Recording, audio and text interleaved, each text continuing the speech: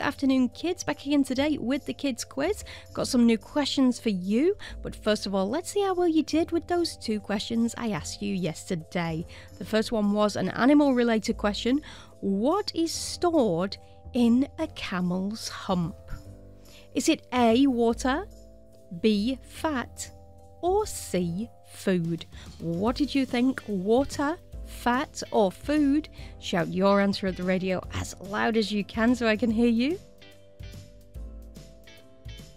And the correct answer is B, fat. A camel's hump is made up of fat.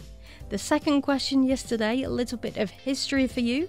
Neil Armstrong was the first person in the world to do what?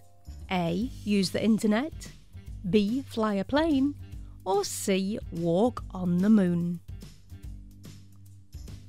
And the correct answer is, of course, C. Walk on the moon. Neil Armstrong was the first person to walk on the moon. New questions for today. What do carnivores eat? A. Plants and meat. B. Only meat. Or C. Only sausage rolls. And the second question for today Which bird can fly backwards?